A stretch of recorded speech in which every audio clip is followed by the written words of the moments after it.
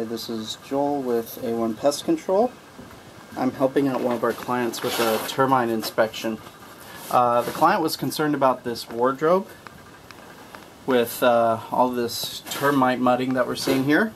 So I opened it up just a little bit and on the inside of here we have some active um, termites. And it looks like they're the Coptotermes acinaciformis which are the most economically damaging uh, termite.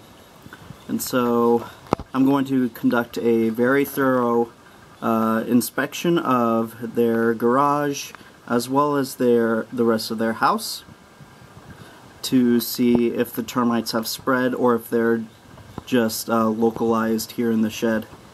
So if you're in need of a termite inspection here in Baulkham Hills, just give us a call at A1 Pest Control.